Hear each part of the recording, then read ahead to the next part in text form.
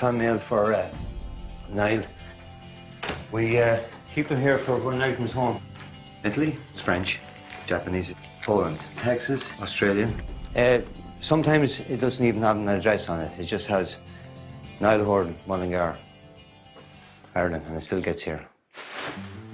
When I was small, I had the box room, which was about five foot by three foot. We were living in like a tiny house. There it is. Humble beginnings. We're in Mullingar because my brother Greg is getting married, and I'm the best man. You have your suit already? No. So we're going out to collect our suits then. And we'll measure you up for a suit. Don Corleone Horan. We've gone for a modern, trendy suit there. Slim lapel, slim fitting trousers and stuff. A nice pink and white tie, which complements the outfit there. I think it'll look very well. Should I be doing it?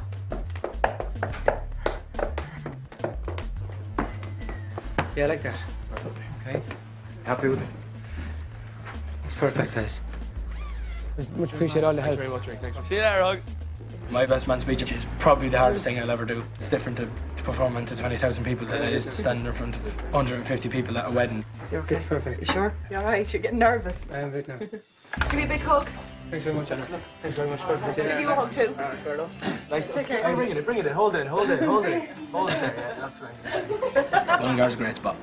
It's quite a small, traditional Irish town. Look, look who's in the truck again. Ah, let's go, let's crack. Everyone knows each other. Oh, what's the crack?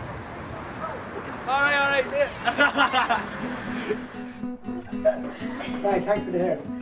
It's class. Nice. Put a bit of shine on.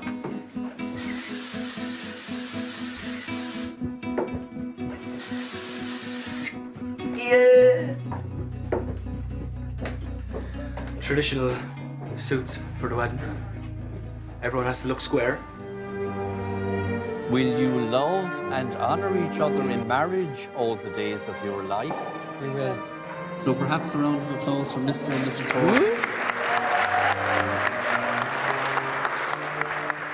Let's be honest, we've got some very fond memories of each other. We loved each other when we were kids.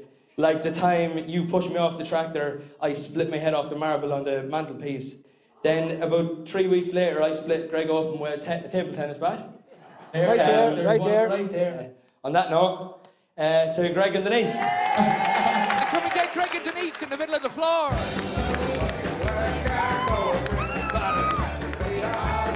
Family are 100%.